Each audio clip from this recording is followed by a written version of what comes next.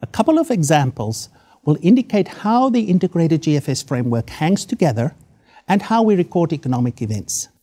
For simplicity, we will stick with cash transactions and a revaluation. First, let us assume government receives taxes of 100 in the form of cash. The first question we have to ask is whether this is a transaction or an other economic flow. You would agree with me that the payment of taxes are transactions. Now we have to ask whether this transaction increases or decreases government's net worth or leaves it unchanged. Government is receiving cash that it did not have before, so we can say for sure that this is a revenue because this transaction increases government's net worth through its increased holdings of cash. We thus record an amount of 100 in revenue and a counterpart entry because we use double entry accounting as an increase in financial assets in the form of cash. Because government is now holding cash of 100, its net worth has increased by 100. The operating balance is thus plus 100, explaining the increase in net worth. The net lending net borrowing balance is also plus 100. Let us assume government pays interest of 25 in cash on a loan from the central bank. Again, if we go through the standard set of questions, we can determine that this is a transaction in the form of an expense. Government is using its cash deposits to pay this interest, which leads to a decrease in its financial assets in the form of cash and, thus, a decrease of 25 in its net worth. We record an expense of 25 and a decrease in cash of 25.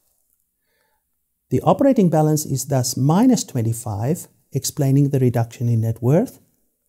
The net lending net borrowing balance is also minus 25. Let us assume government issues a bond of 200 and receives 200 in cash. We can all agree that this is still a transaction. But does this event change government's net worth? Government's liabilities do increase by 200, but at the same time, its holdings of cash increase by 200. So, the effect on government's net worth and its net financial worth is therefore also zero. There is no change in the net operating balance and the net lending net borrowing balance.